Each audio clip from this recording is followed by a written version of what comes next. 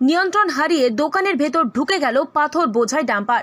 হুড়মুড়িয়ে ভেঙে পড়ল রাস্তার পাশের বেশ কয়েকটি দোকান। ঘটনাটি ঘটেছে আসানসোল উত্তর থানার অন্তর্গত পাঁচগাছিয়া তৃণমূল কংগ্রেস কার্যালয়ের সামনে দুর্ঘটনার জেরে ব্যাপক চাঞ্চল্য ছড়িয়ে পড়ে এলাকায়। শুক্রবার ভোর রাত্রে একটি পাথর বোঝাই ডাম্পার হঠাৎই নিয়ন্ত্রণ হারিয়ে রাস্তার পাশের একটি মোবাইল দোকানে ঢুকে পড়ে। ঘটনায় দোকানের আশেপাশে কেউ না থাকায় প্রাণহানি না হলেও ব্যাপকভাবে ক্ষতিগ্রস্ত হয়েছে বেশ কয়েকটি দোকান। ভেঙে গেছে ভেতরে সমস্ত জিনিসপত্র।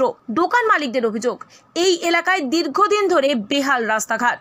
তার মধ্যে ওভারলোড গাড়ির যাতায়াত নিত্যদিন বেড়ে চলেছে। প্রশাসনের উদাসীনতাকেই দায়ী করেছেন তারা। দুর্ঘটনার জেরে জখম হয় গাড়ি চালক ও খালাসি। খালাসির অবস্থা আশঙ্কাজনক হওয়ায় তিনি হাসপাতালে চিকিৎসাধীন।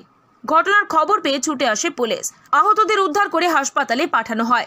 দুর্ঘটনার জেরে ক্ষতিগ্রস্ত দোকানদাররা এবং ক্ষতিগ্রস্ত হওয়া অটোর চালক ক্ষতিপূরণের দাবি জানিয়েছেন। আমি তো সকালবেলা, ভোরবেলা জানতে পারলাম যে এরকম এরকম ঘটনা ঘটেছে। তো আমি ঘর থেকে এখনই এলাম, এসে দেখছি এই ঘটনা ঘটেছে। দোকানের, আমরা সব সকাল থেকে রাত পর্যন্ত থাকি নটা সাড়ে নটা পর্যন্ত। রাস্তা এত খারাপ যে মানে গাড়িগুলো যেন রাস্তা দিয়ে মানে যে বাইপাস দিয়ে যাচ্ছে, এরকমভাবে টার্নিং নিয়ে নিয়ে যায় টার্নিংয়ের পয়েন্টে গাড়িগুলো আসতে করেও যায় না। এখন যদি দিনের বেলায় ঘটতো, এখানে সবাই থাকে ঘরের দোকানের ভেতরে। কিছু যদি ঘটনা ঘটে যেত, এটা তো রাত্রেবেলা হয়েছে। প্রচুর ক্ষতি হয়ে গেল দোকানটার। কিছুদিন আগে চুরি, তারপরে আজকে দোকানে অ্যাক্সিডেন্ট মানুষটা রিকভার করে উঠতে পারল না, এখন আর একটা বড় ঘটনা ঘটে গেল। এরকম করে প্রশাসনের দেখা উচিত যে রাস্তা খারাপ হয়ে যাচ্ছে রাস্তায় গাড়ি ওভারলোড গাড়ি চলছে। এগুলো দেখা উচিত এগুলো না দেখলে কি করে হবে? রাস্তায় বড় বড় গর্ত হয়ে গেছে।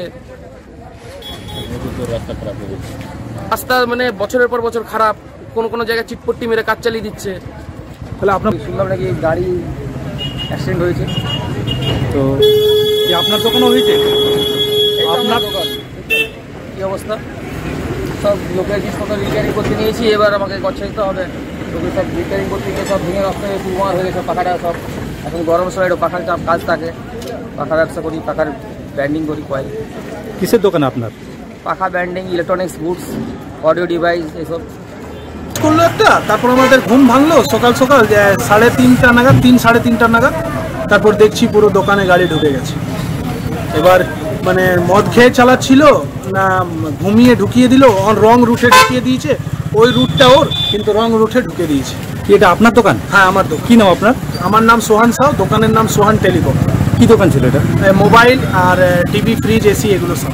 কটার সময় হয়েছে ঘটনাটা? এটা নাগাদ সাড়ে তিনটা।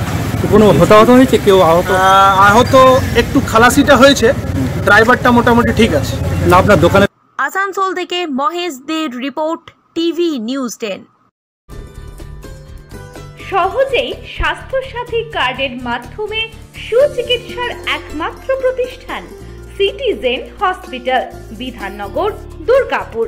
Helpline number নয় আট শূন্য শূন্য আট নয় সাত আট পাঁচ পাঁচ।